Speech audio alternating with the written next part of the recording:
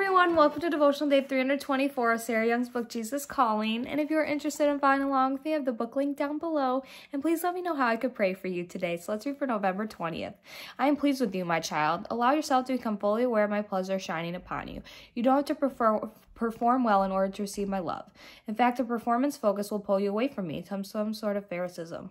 This can be a subtle form of idolatry, worshiping your own good works. It can also be a source of deep discouragement when your works don't measure up to your expectations.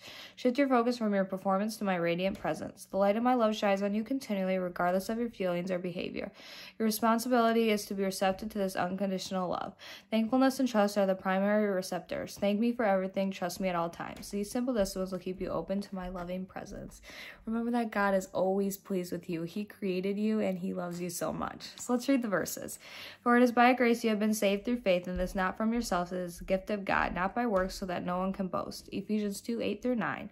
I pray that out of his glorious riches he may strengthen you with power through his spirit in your inner being, so that Christ may dwell in your hearts through faith. And I pray that you, being rooted and established in love, may have power together with all the saints to grasp how wide and long and high and deep is the love of Christ, and to know this love that surpasses knowledge, that you may be filled to the measure of all the fullness of God. Ephesians 3 16 through 19. Trust in him at all times, O people. Pour out your hearts for him. Your God is our refuge. Psalm 62 8. Thank you so much for listening to this devotional today, and I will see you all tomorrow. Bye.